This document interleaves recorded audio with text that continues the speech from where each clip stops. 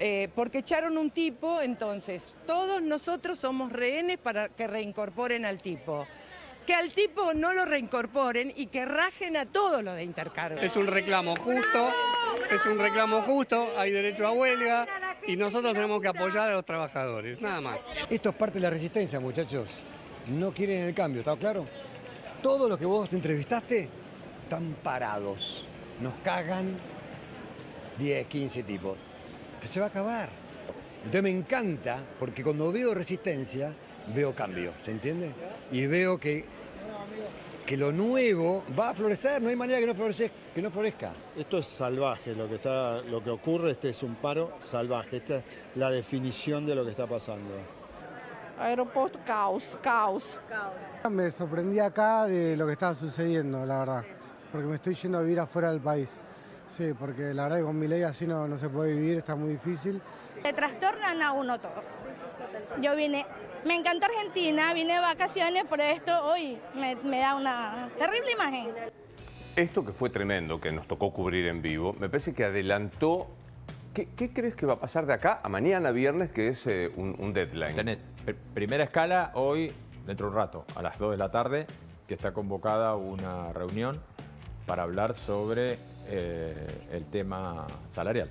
No sobre el tema salarial, específicamente sobre el tema salarial, pero involucrado adentro. ¿Qué es lo que dice el gobierno? Tráiganme una propuesta en que el sistema eh, aerocomercial se mantenga operativo. Tráiganme una pro- traigan una propuesta Claro, donde claro. no paren, a ver, que los gremios garanticen que esto que pasó ayer no vuelve a pasar.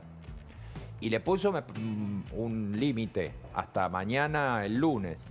La denuncia penal ya corrió, la escuchaste a Patricia Burri. La escuché esta mañana con Y ustedes. la denuncia penal, vos que sos abogado, tiene un elemento que yo creo que es muy duro, que es privación ilegítima de la libertad.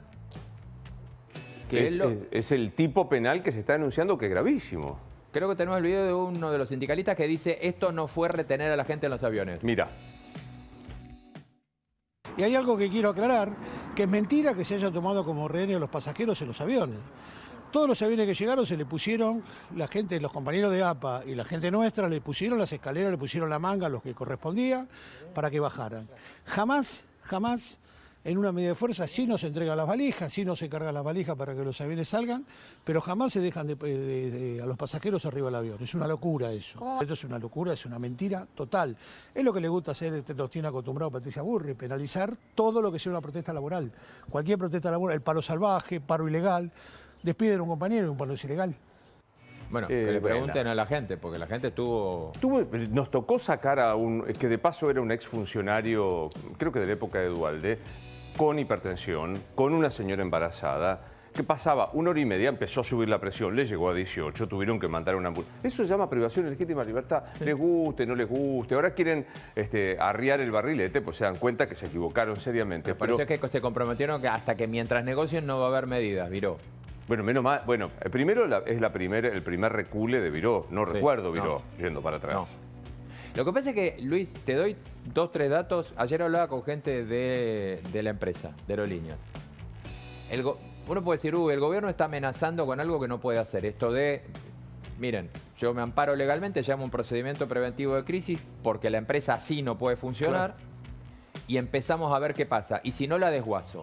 Ayer lo que me decían, y me decían representantes de gente que está trabajando hace años en aerolíneas, es no, no, ni, ni siquiera integrantes de este gobierno del directorio. Bueno, la empresa claramente hoy, y esto gracias a lo que pasó con aerolíneas en los últimos tiempos, adquirió una característica por la cual vos la disolvés con mucha facilidad. Los aviones, que el 80% de los aviones de aerolíneas s- son en leasing, te los toma cualquiera de devolución porque el mundo, lo hablamos con Antonio. Macheparón, el mundo quiere aviones. Los, los- ¿Te acordás cuando despidieron a los pilotos que, se, que porque no se, ne- se negaron a ir a devolver dos aviones? Esos aviones estaban ya, los estaba pidiendo ya otra línea aérea de Bolivia. Y por eso, eh, por eso el apuro que había que devolverlo. Es decir, vos das de baja un leasing y el lesor te lo toma inmediatamente. Así que Automáticamente. olvídate que los aviones no los vas a tener este, atornillados en la pista. Se los van a llevar inmediatamente. Activos físicos, y Aerolíneas tiene unos, eh, los, los Embraer, tiene algún activo físico más, me dicen que no son más de 30 millones de dólares.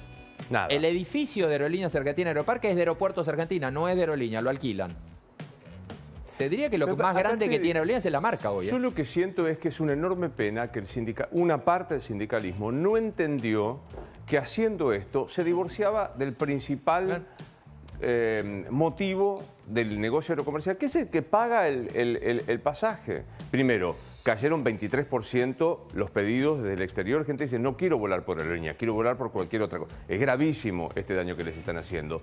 Y lo otro, porque ahora vamos a escuchar a Bray, que es de Aeronavegantes, que es otra calidad de, de sindicalista, no es eh, Viró, es que quedaron rehenes de algo. Mira, eh, ayer lo, lo contaba y lo mostramos al aire. Un eh, comisario a bordo de carrera, un tipo formado, que es amigo, me, me comprende en general porque cobró 1.500.000 pesos. ¿Es un sueldo razonable? No, no lo es. Hay que discutirlo.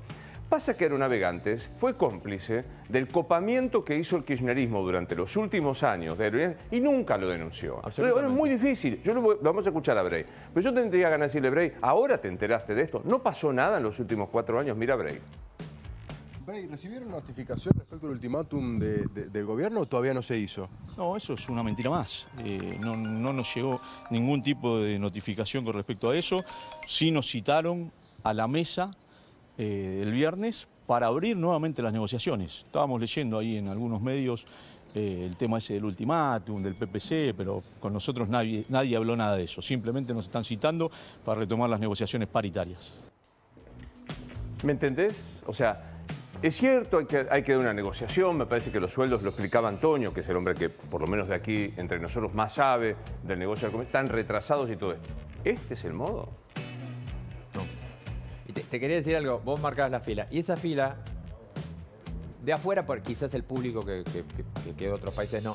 Esta fila es otro de los principales activos de aerolíneas, que es la gente que sigue eligiendo viajar por aerolíneas y que prefiere en competencia, ver si a otra le sale más barato o no, pero que tiene una tendencia natural a confiar y sentirse... Obvio. Creo que todos nosotros nos sentimos cómodos nos y seguros sentimos. en aerolíneas. Todos nos sentimos y tenemos como un afecto emocional, no sé cómo se llama por aerolínea. Yo digo, hay, hay gente que labura, qué genial, son tipos fantásticos, tipos formados de años y años. En Rosario los conozco a todos los de aerolíneas, son gente macanudísima. Ahora digo, che, se están, se están solidarizando con el tipo que deja encerrado en el avión tres horas. Más vos lo dijiste cuando empezamos el bloque. Pero me parece que la gente tiene la percepción de que está, llegó a un límite. Claro. O sea, el, el- el- ayer que se reprodujo eternamente la nota que hace Tomás Díaz Cuesta, dice, che, yo banqué, un tipo que dice, yo banqué, estoy hasta acá. Es, es- es hasta acá, definitivamente. Por lo cual, para repasar, mañana hay negociación y si- Hay negociación hoy, hay negociación mañana, está la denuncia penal y está la advertencia del gobierno que es clara. Y si querés, mira el antecedente Telam. Claro.